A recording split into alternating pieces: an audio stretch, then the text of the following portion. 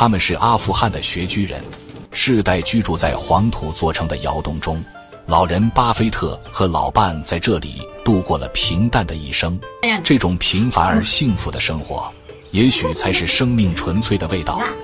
在荒凉的阿富汗这片黄土戈壁上，山坡上一个个的窑洞中，居住着当地特有的穴居人。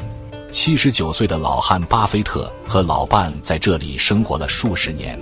如今，两位老人年事已高，现在家中的羊群由子女看管打理，两位老人负责在家帮着给家人做饭、照顾孩子。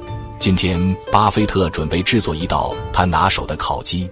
烧烤是生活在这里的游牧民最常吃的食物。这里没有大城市的喧嚣，也没有世俗的纷争和侵扰。窑洞虽然破败，却也冬暖夏凉。老两口配合默契。将滋养的肥美土鸡洗了一遍又一遍，在这秋高气爽、云淡风轻的日子里，蹲坐在门口的山坡上，做着家务，享受着缓慢的晚年时光。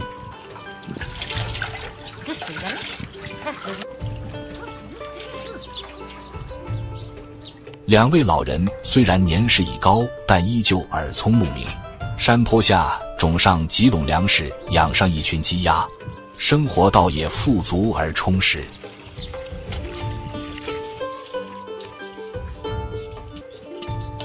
清洗好的鸡肉，用菜刀纵横交错划上几刀，方便腌制入味。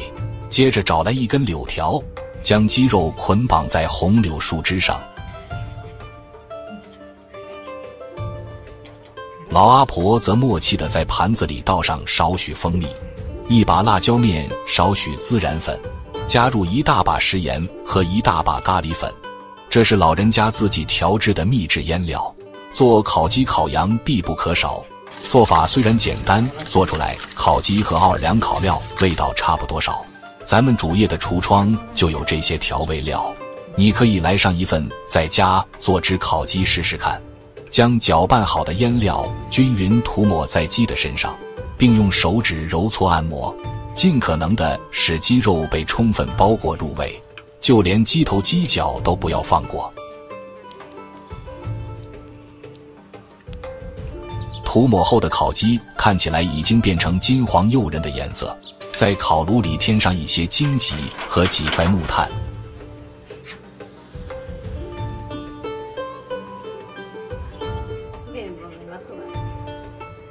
木炭充分燃烧后，穿好的土鸡横着架在木架上，大火烘烤。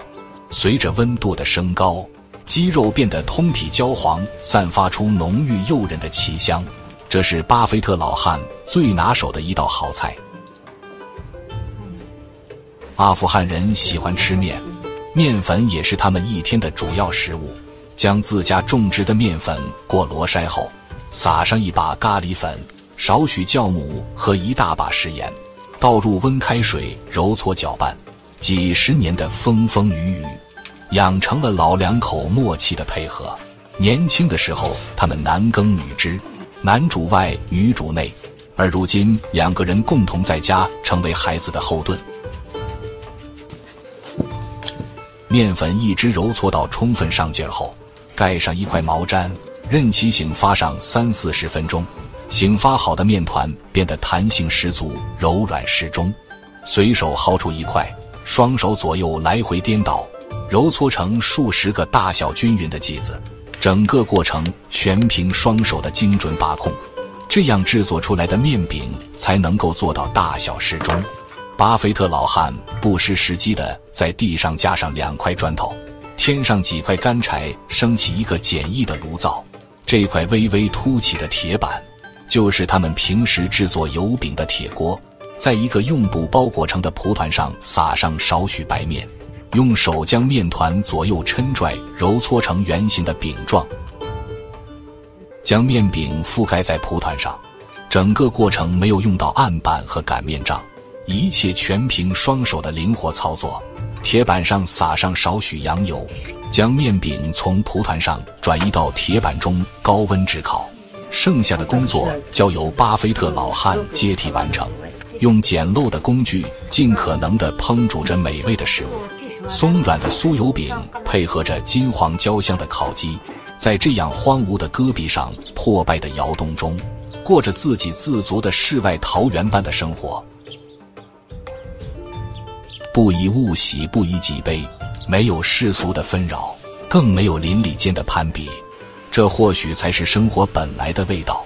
主食做好后，再切上一个熟透的西红柿，剁上半个大洋葱，烧上一壶开水，沏上一壶暖茶。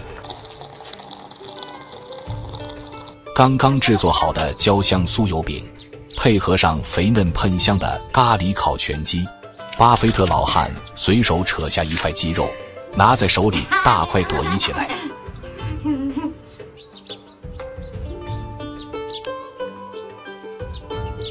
时间带走了他们的青春芳华，却也赋予了他们温暖的人生回忆。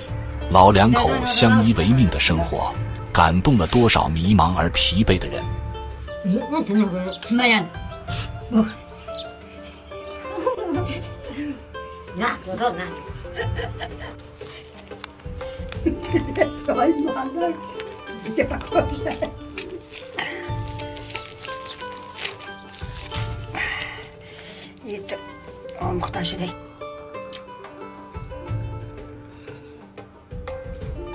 今天是一个值得庆祝的日子，巴菲特老汉今天给老伴庆祝生日，老两口烹煮了一顿丰盛而且与众不同的美食。在阿富汗荒芜的戈壁上，黄土挖成的简易窑洞中，老汉巴菲特和老伴儿相依为命，共同生活了五十多年。今天是老伴的生日。巴菲特老汉早早便宰了一只自家散养的老母鸡，准备给老伴庆祝生日。他们生活在偏远荒芜的戈壁上，东西的买卖不是特别的方便，所以一切物资尽可能做到自给自足。自家散养的这种老母鸡，已经养足了一两个年头，宰杀后看起来也有四五斤的样子。老人在自家的窑洞前，沐浴着初秋的太阳。仔仔细细地清洗着这只肥美的土鸡。他们年轻时也有过吵吵闹闹，然而到了老了以后，反而愈加融洽起来。俗话常说：“少年夫妻老来伴。”人生是一场没有返程的旅行，最终只有夫妻两个共同度过漫长的一生。所以，我们应学会善待将一切赋予你的那个女人。阿富汗地处偏僻，环境以黄沙戈壁为主。当地人世代以放牧和种植为生。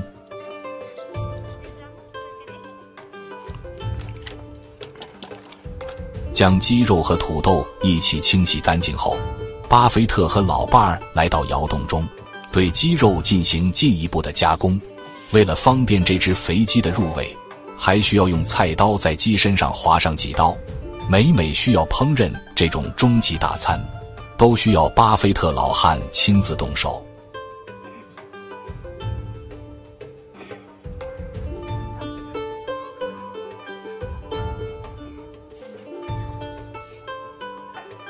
鸡肉处理好后，另取一只空碗，碗中倒入少许食用油，撒上一大把咖喱粉、少许辣椒面和一勺孜然粉，加入一把生姜粉，最后捏入适量的食盐。和一坨捣好的蒜泥，这是他们腌制食物的秘制调味料。将调料用勺子搅拌均匀，均匀涂抹在母鸡的身上，并尽可能做到全面，就连鸡头、鸡脚、翅膀都不要漏掉。咱们主页的橱窗就有这些调味料，你可以来上一份，在家做只烤鸡试试看。涂抹好的腌料还需要用手反复揉搓。给鸡肉按摩，使调味料被鸡肉充分吸收，就连鸡肝、鸡心之类的内脏也不能浪费，一起塞入鸡腹内。用铝箔纸将母鸡层层包裹严实。巴菲特端着一个脸盆来到山坡下，在盆中快入一盆黄土。加入清水后，和成一盆黄泥，随后将黄泥均匀涂抹在包裹好的鸡身上。看到这里，我恍然大悟，这做法有点像咱们平时见到的叫花鸡。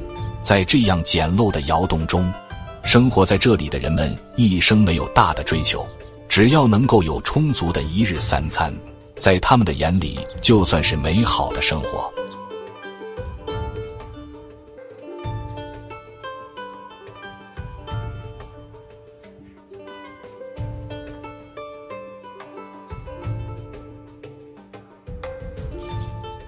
黄泥包裹的母鸡用木柴围起来，大火炙烤，整个过程比较漫长，需要两三个小时的时间。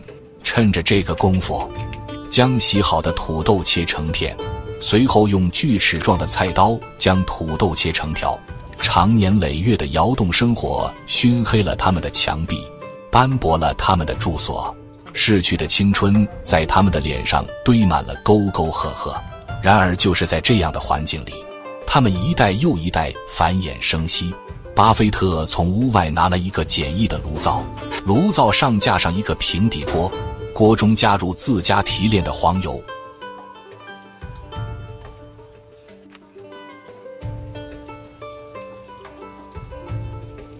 加用盐巴腌制过的土豆放进锅中，大火油炸。在羊油的作用下，土豆在锅中发出滋滋啦啦的响声。整个窑洞里也弥漫着炸土豆的香味。阿富汗人喜欢吃油炸的食物，他们在这种旷野上体能的消耗比较巨大，所以经常会吃到油炸之类的面食。像这种狼牙土豆，他们吃的次数也为数不多。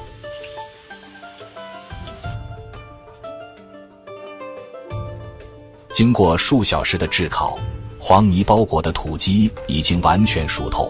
用铲子敲掉黄泥，并将泥巴清理干净。